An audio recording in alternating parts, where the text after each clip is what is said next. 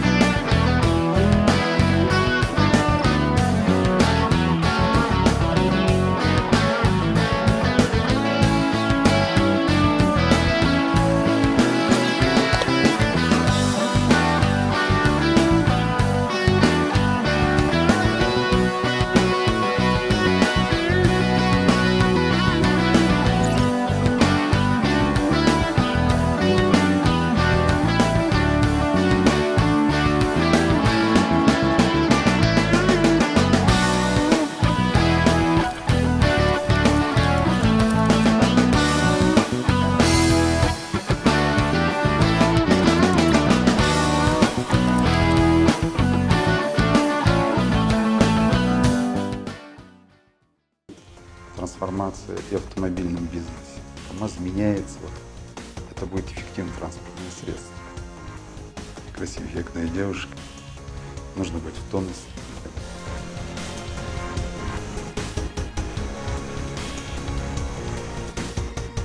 Конечно, это интересно.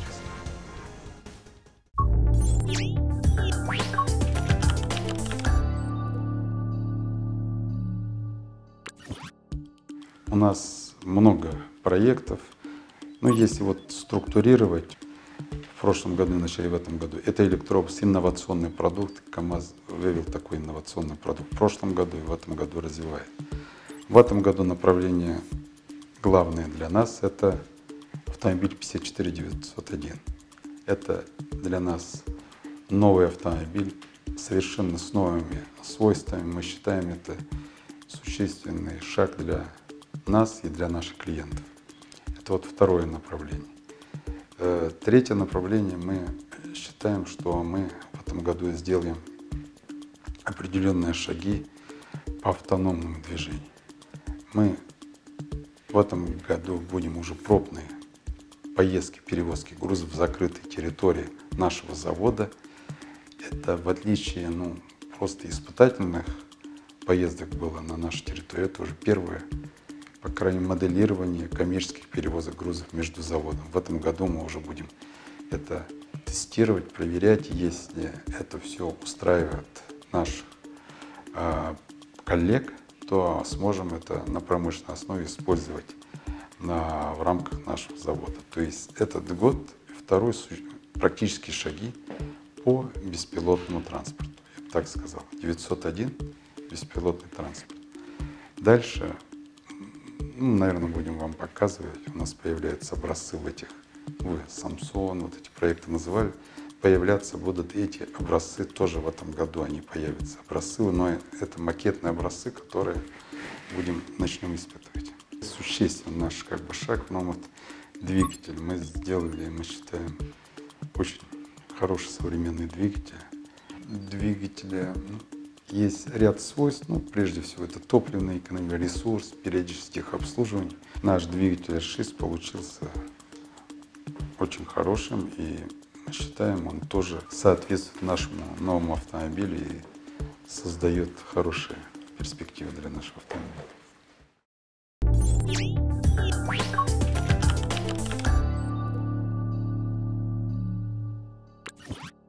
Нового ряда. Это первый магистральный тягач 901 и появятся дальше другие автомобили, самосвалы, транспортные семейства. Да, на всех автомобилях нового поколения. К5, который мы называем.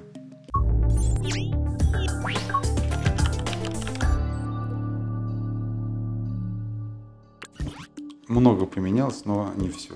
Например, а, Мосты мы оставили, которые мы понимаем. Некоторые решения подвески СК-4, наверное, и все. Рама новая, подвеска кабина, кабина, новый двигатель, новая электронная архитектура, новая электроника. Я уже говорил, это электронный автомобиль. Поэтому ключевые а, параметры этого автомобиля достаточно свежие и новые. Я говорю, но есть элементы и предыдущего опыта, как я сказал.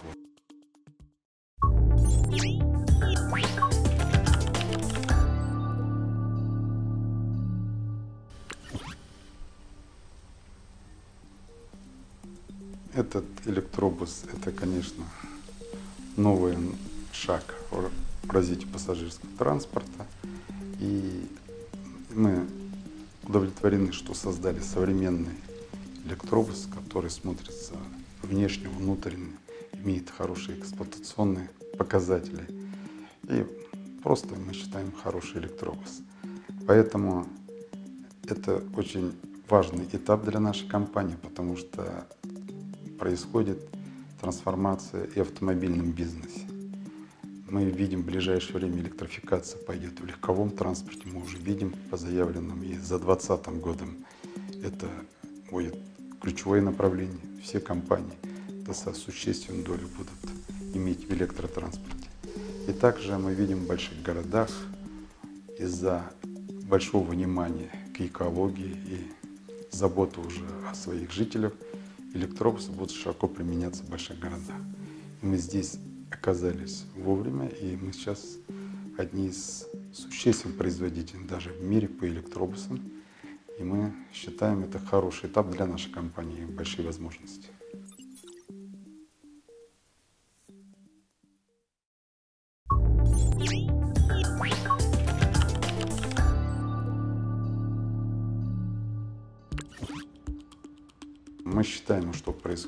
Успешно, достаточно большие ежесуточные пробеги.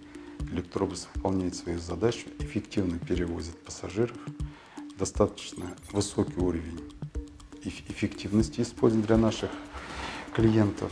Я думаю, это все очень хороший результат показал. Нужно понимать, что столица – это очень высокий уровень требований как к продукту и, и как у жителей, так и у эксплуатантов наш электробус, он кроме того, что электробус как транспортное средство, он еще новых современных добавил небольших штрихов, которые создают просто ощущение современного. Там USB-зарядки там есть, ну такие как бы э, небольшие элементы, они не сложны, но они создают уже нашим пассажирам удобство, что достаточно серьезная мультимедийная система, у него красиво отображается информация как внутри, снаружи. Хорошие как бы интерьер салона современный. То есть он современный не только транспортное средство, по ряду новых функций. Интерес сейчас во многих регионах, финансовые возможности, организационные возможности, конечно, Москва выглядит сегодня на более высоком уровне, и они задают тон. Понимание, как это использовать, как эффективно использовать, это очень, мы считаем, хороший опыт, и мы сфокусированы сегодня на Москве, это хороший достаточно серьезный наш клиент, и мы вместе с ним будем развивать это направление.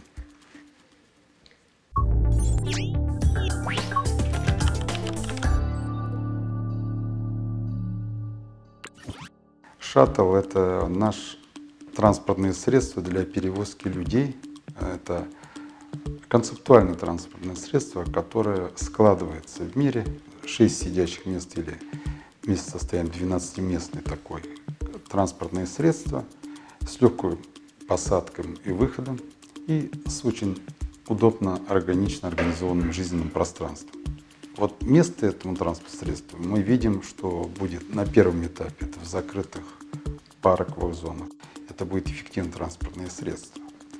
А в дальнейшем такое подходы можно сделать уже для городской среды более широкое применение. Другое применение это для закрытых технологических территорий.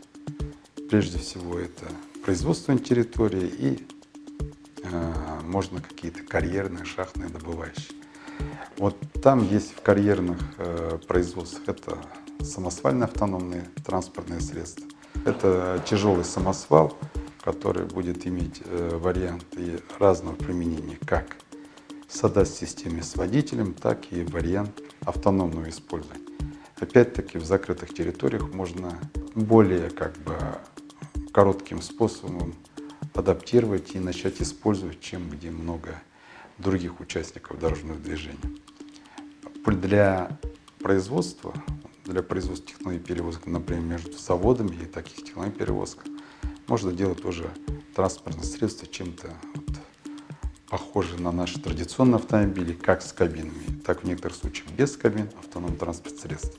Это первый уровень ближайший, который может быть стартовать применение в ближайшие годы.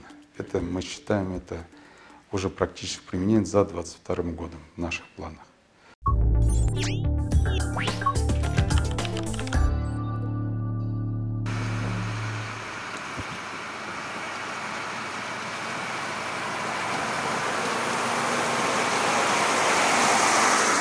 Мы видим, что в стране большое внимание сейчас к освоению Арктики. И мы, обсуждая с нашими коллегами перспективы развития, прежде всего с нашими партнерами вот имени Баумана, искали, как бы мы могли вот эту потребность решить. Возникла эта концепция, это транспортное средство с низким давлением на грунт, чтобы на малонесущей поверхности можно было перевозить грузы. Поэтому получают специальные шины. Ну, это сложная инженерная задача, так как мы делаем на больших широких шинах, то встает вопрос управления таким транспортным средством. Поэтому получился такой автомобиль, который как сочиненный управление. Такая интересная инженерная задача, интересные потребительские свойства получились автомобиля. Кроме этого, мы, конечно, опять отнеслись не только как с транспортным средством, мы сделали его таким брутальным дизайном, то есть внешне внутри. И даже вот на первом проявленном образце мы достаточно внимания уделили, как могли бы эксплуатировать в таких э, трудных условиях наши клиенты. Если вы там видели, мы достаточно комфортабельный жилой модуль, концепцию представили.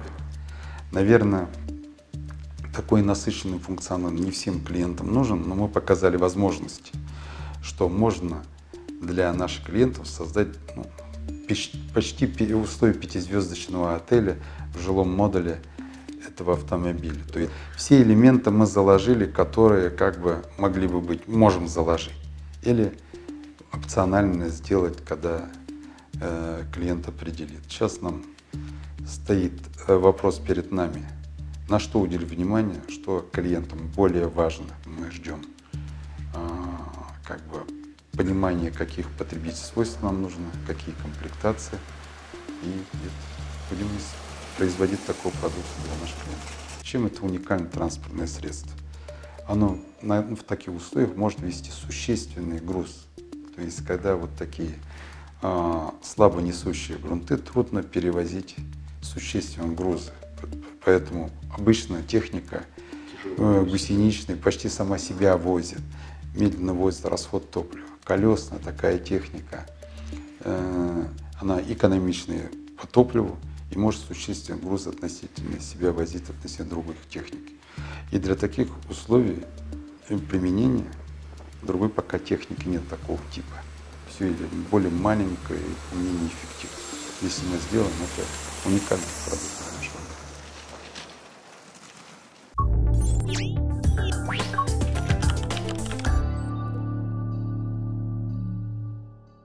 Мазовские специалисты, э, я бы считал, наверное, ну, одни из лучших, это точно. Это точно, мы общаясь с многими компаниями, у меня есть опыт, что наши талантливые ведущие специалисты – это мировой уровень.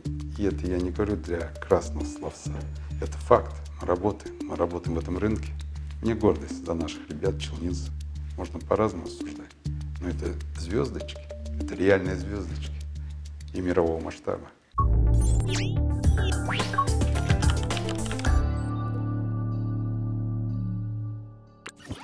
Могу сказать одно, легко не будет. Здесь выживает, ну, скажу, настоящие мужчины, которые движется вперед, но я так бы с иронией говорю, конечно, мужчины и женщины, которые а, деятельные, умные, инициативные. Вот для таких, я думаю, интересно. Но есть колоссальные возможности, которые можно реализовать. Для молодых специалистов у нас, я считаю, есть все возможности, потому что э, КАМАЗ развивается и невероятная потребность в толково способных ребятах. Наши разработчики должны создать лучшую технику, закупщики бороться на рынке лучше, продавцы продавать нашу современную технику. То есть для всех тут, я считаю, очень много интересного.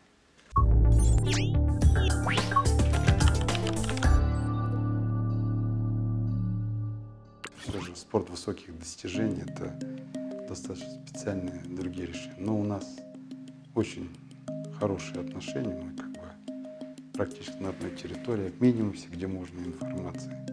Но мы горды, что у нас такая команда, и это люди определенного сорта, дух победителей, вирус такой создают, здоровой гордости за КАМАЗ, за компанию. И очень удача большая для нас, что есть такая команда, и у нас очень хорошие отношения.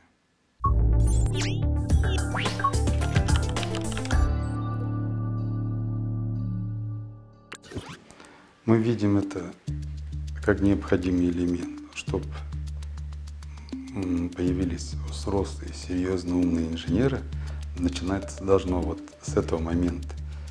Прежде всего, любили это дело. Вот Кванториум – это невероятное место, где люди с интересом занимаются инженерными задачами, и дети, педагоги. Я просто впечатлен, как эти наши специалисты работают с детьми, как увлекают, что они там делают.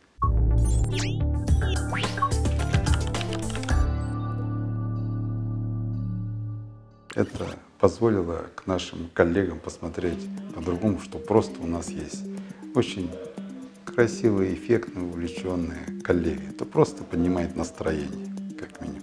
Приятно, что у нас очень красивые, эффектные девушки, но я считаю, что у нас великолепно молодые ребята. Мы знали и тоже их поддерживали, гордились, хвалили, просто любовались их успехами.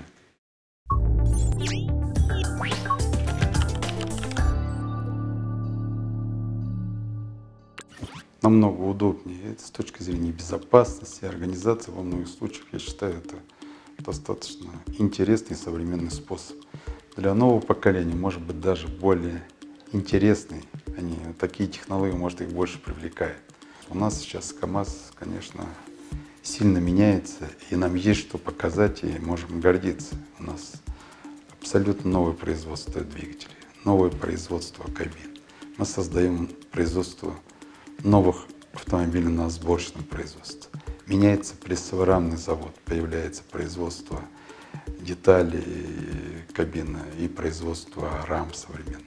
Очень удачно, что в 50-летие происходит на КАМАЗе некоторые, как бы я сказать, перерождения. Я говорю, есть много что показать, и я думаю, это людям будет интересно, что происходит на КАМАЗе и как он меняется.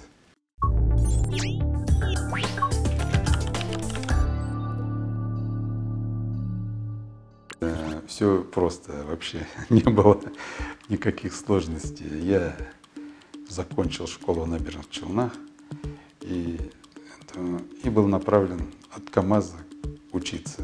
Поэтому вернулся, закончив институт, аспирантуру, вернулся на КАМАЗ как направление с КАМАЗа. Поэтому я в голове не держал другой мысли. Я с юности был сориентирован на КАМАЗ. Я когда был студентом. Приезжал на КАМАЗ, ходил по заводам, тогда это был вообще новый завод, новое оборудование, это было вообще мечта любого инженера. И я с удовольствием пришел сюда, и, конечно, были разные периоды, но никогда не пожалел, прожил очень интересно жизнь на КАМАЗе. Я учился в завод в Тузе, я поэтому прошел опыт ЗИЛа, я Два года работал рабочим на конвейере, потом на инженерном должностях, в лабораториях двигателей работал. То есть я прошел, пока учился, все ступени рабочего, инженера. Приехал уже сюда с опытом, как бы. Но если говорить после вот завершения всей этой учебы, то я был только на КАМАЗе.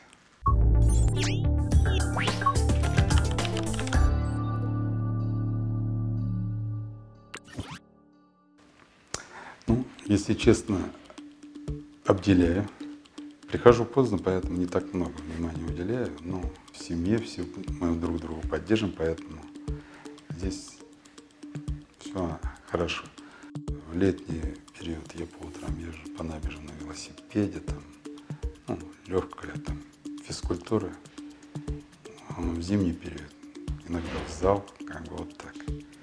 Вот, наверное, и все, если без деталей. Ну так совсем вот таких зарегулированных нет у меня.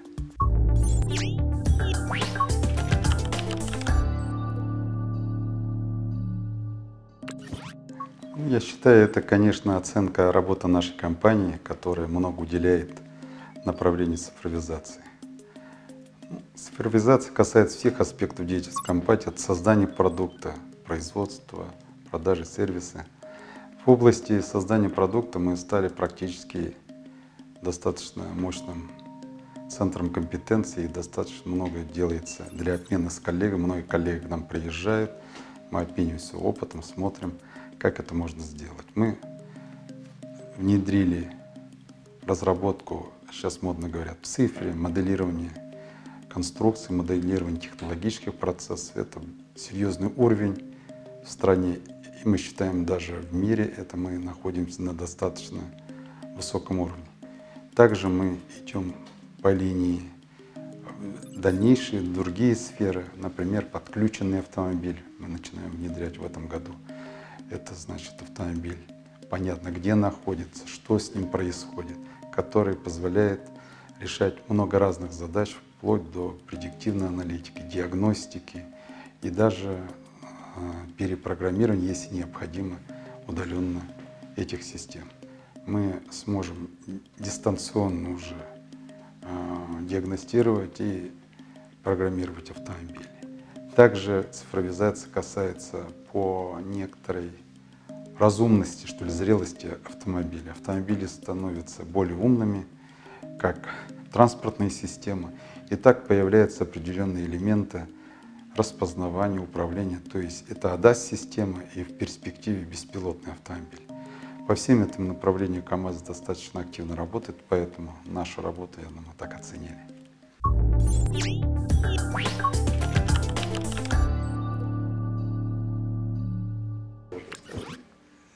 Я уже достаточно долго работаю на КАМАЗе, поэтому к КАМАЗу я отношусь уже а, как к семье, что ли. И я к своим коллегам, тоже КАМАЗовцам отношусь не только, скажем, как к коллегам, как к работникам, я как к нашей большой семье отношусь. Поэтому я считаю, нам повезло. У нас очень хорошая, здоровая команда. И на всех уровнях большинство нас все увлечены. Я могу сказать, это не для красного словца, я потому что пережил разные периоды. Вот 90-е годы, когда сложно, вот тогда я увидел, что такое дух КАМАЗовца. Тысячи людей и вот трудности э, все перенесли, ну скажем, без тона, без забастов были очень тяжелые времена. И я и сейчас это чувствую, что КАМАЗовцы, они немножко другого сорта, в общем. Счастью, что повезло с такими людьми работать.